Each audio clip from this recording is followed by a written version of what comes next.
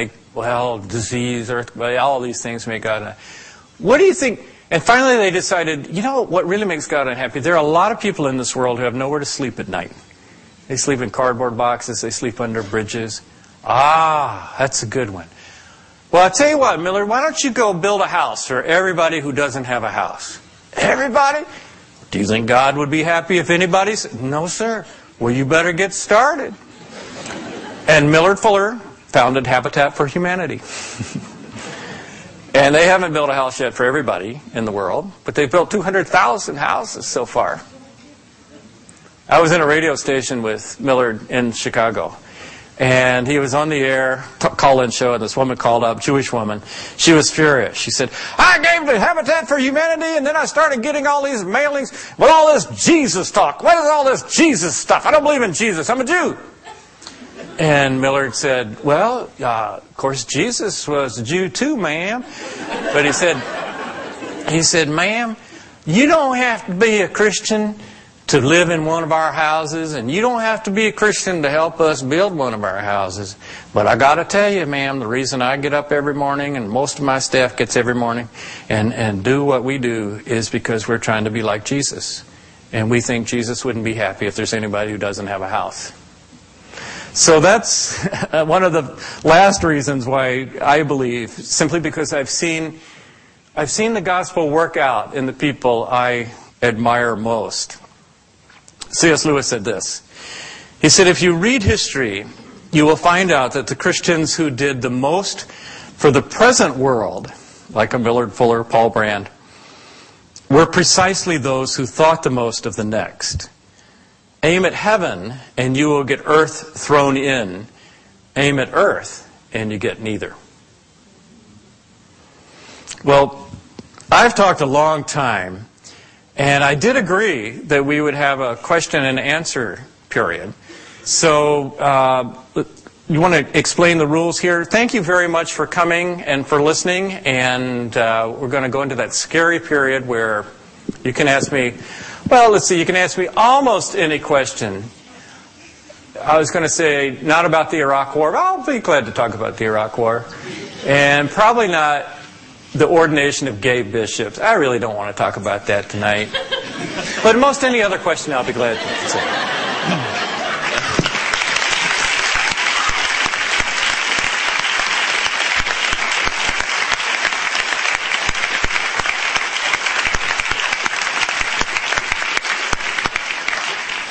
Thank you, thank you, Philip, so much for sharing your heart and your life and even making us laugh a little bit. Appreciate that. Um, for the Q&A session, if you could keep your question, just one question per person, and I was going to say keep it related to the topic, but he just said that you can pretty much talk on any topic you want. So right. um, just come up here and make sure you speak into the mic so we can hear you, and then just one question per person. Hello. Well, great, great job. Thank you. Um, I wrote a lot of notes. Are you okay. truly from Canada, or are you just? No, I'm not, but I'm representing. You should okay. go. It's a very nice place. Yeah. Well, um, and, and not only that, for those of you who travel overseas, it wouldn't be a bad thing to put a Canadian flag on your backpack. That's that is the truth. That is the truth. Okay, well, I have just one quick statement and then one question. Uh, my statement was just about animals, and obviously there's no uh, we shouldn't. Well, here's my statement. I wrote it down so I wouldn't uh, ramble. So I'm reading now. God did let us learn from the animals a little bit. I believe is because no animal or cat or dog you've ever seen commit suicide. They don't self-inflict pain. I think that's something that you know they don't hold their breath forever. They, they don't even know how. Animals just be, and I think that's something that uh, God taught us that we can learn from. Um, okay, my question. I'm a Christian, and I'm really confused, and this has to do a little with the election, but I don't want to get into you know specifics or anything. But the fact is, the more I think about becoming more like Jesus, I think about uh, giving all your money away, uh, like St. Francis, taking off all your clothes, you know, get, giving everything away, and going and follow Jesus. Um, and the more I think about that, I think about what would Jesus do? The WWJD bracelets. I think about Forgiving your enemies, loving your enemies, like you said, becoming Jesus is very complicated because you don't really want to love these people or forgive these people. I think about turning the other cheek. No revenge there. I think about don't throw the first stone. We don't, we're not supposed to judge anybody. Um, but and the more more I think about it, the more I see as I don't want to put categorize labels on it, but I think of like a liberal perspective in the sense of forgiving and second chances and all that stuff, as opposed to the term that we know we hear Christian conservative. Um, I think of myself as a Christian liberal, um, and I think, uh, and and I'm confused because when I look at the news, I, they don't exist. I think maybe Martin Luther King, maybe Jimmy Carter. I, I, I don't know, but Christian conservative is what I see everywhere, and I don't really identify with that. Um, so my question is, one is, it has to do with a little bit what you talked about the church, your own personal experience with the church, and sometimes that seems like a little bit more conservative, and now I'm rambling, I understand. So my question is, why is that, why, when I think of Jesus, is it not really what a Christian conservative is? Seems like to be a pretty big gap there from my point of view. And then also the question is, who would Jesus bomb? Who would Jesus what? Bomb. Bomb. So that's kind of the. Anyway, I'm going to go sit down now. Yeah, I wrote in one of my books. Sometimes I ask myself, what would I rather be, the most liberal person in a conservative room or the most conservative person in a liberal room?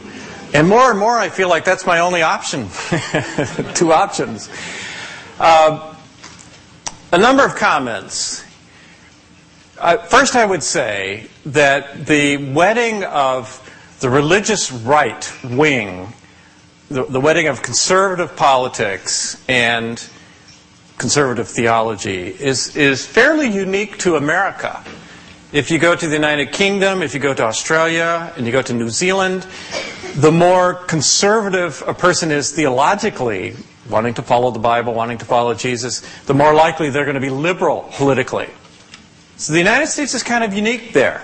Uh, and that's true of most of Europe that I know of as well. Well, how did that happen? Well, uh, there are certain social issues that are very important to uh, Christians who try to be faithful to the Bible. Certainly, abortion is one, homosexuality is another. And uh, 30 years, when I was a child, or when I was a child, uh, even 30 years ago, like when McGovern, when George McGovern ran for president, his his vice presidential candidate for a time was a man, senator named Thomas Eagleton, Democrat, liberal, but very strong pro-life, and that was fairly common. There were Democrats who were strongly pro-life, who were social conservatives, Democrats who were politically liberal, social conservatives, and in addition, there were Republicans who were who were anti-war, like Wayne Morse, like Mark Hatfield uh, who were who were liberal on on certain issues. In, the United States, I, you know, I don't know how it happened. You'll have to ask Karl Rove, I suppose. But in the United States, we've we've really split, and the right wing has become totally allied with the, Repu- the conservative right, religious right, has become allied with the Republican Party, and there's not a lot of room for them. As you probably know, in the Democratic conventions, they will not allow a pro life speaker to speak. And some of the issues that the religious right uh, thinks are important, I just shake my head at. You know, abolishing the Department of Education. What does does Jesus want us to abolish the Department of Education? But that's important to the religious right. Uh, I'm not a politician. Some of you guys are political science majors. I would just say well, we, we, were talking at dinner, and I said, Isn't it interesting that the two issues that, that define a lot of evangelicals' interest in politics are abortion and gay rights? Both of those existed in a far more egregious form in Jesus' day. People in the Roman Empire didn't generally abort babies, they let them be born full term and then they left them by the side of the road. It's called the abandonment of, of infants. And between a quarter and a third, historians estimate, of all babies born in the Roman Empire were just abandoned. And when the Christian church came along, they started taking some of those babies in. There was a whole platoon of wet nurses who, who nursed these babies, and, and they adopted them and kept them going. But Okay, abandonment of infants, far worse than abortion because there's no question about is this a human being? Of course it's a human being. It's born, it's been carried to term nine months, it's outside of the woman, it's a viable human being, and yet they let it die. And gay rights, uh, there, there weren't the kind of lifelong partnerships being, that are being talked about today. It was usually older men having sexual relations with young boys, pederasty. That was pretty common in Greek culture and in Roman culture illegal in every state in the United States, I think every country in the world. So here are two forms of what is important to the religious right today abortion, but far worse, and uh, intergender relationships, but far worse, illegal today. And yet Jesus didn't say a word, not one word about either one of those. Isn't that interesting? That the two issues that, that evangelicals get most exercised about existed in Jesus' day in a far worse form, and he never even mentioned them. That seems a little strange to me. Now, he talked a lot about wealth, as you say. He talked a lot about enemies. He talked a lot about a lot of things. But he didn't talk about those things. So when I look at that, I think, huh, am I following Jesus or am I following some kind of 21st century American little thing going on here? Now, I think both of those are important moral issues that I have to deal with, but they're not as important as some other issues that I have to deal with that were important to Jesus, evidently. So you rambled in your question, I rambled in my answer. We didn't solve anything. Next question.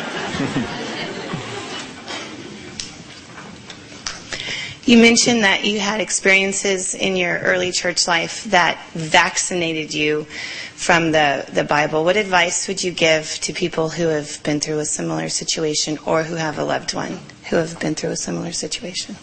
Hmm. Well, there are some people who probably should take a vacation from church. um, and I think that's okay. Um, However, I think it's, it's, it's not a good long-term solution because it's very difficult for a person to maintain a spiritual warmth alone. The Christian life should, should come with one of these warnings. You know, do not practice alone in your home. Um,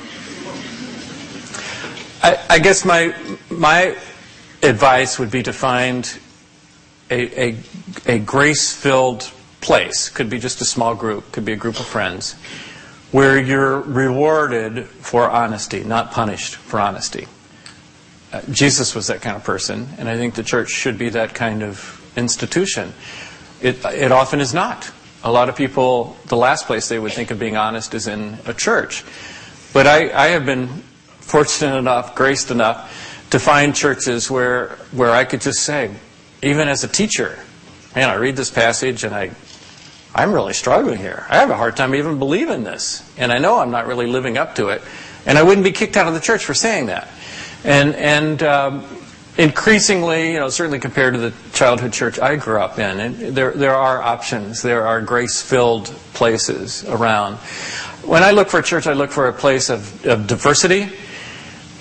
You look at the Pharisees. What was wrong with the Pharisees? Pharisees were very upright, outstanding citizens. The basic problem with the Pharisees, as I study them, is that they hung around other Pharisees all day. If, instead of just being around Pharisees, if they'd been with some of those tax collectors and prostitutes and different people, they wouldn't have such a neat little view of the world. and so I look for a church that has that kind of diversity. And um, I look for a church that that does it. One of the most moving scenes of the Gospels to me is after the resurrection of Jesus. Uh, Jesus only appeared to groups of people, groups of people who already believed in him. Isn't that interesting? That, that proves that Jesus was not an American. Uh, you know, if I if I were Jesus, if I were Jesus, and I was raised from the dead, you know where I'd be Monday morning? Pilate's porch. I'm back.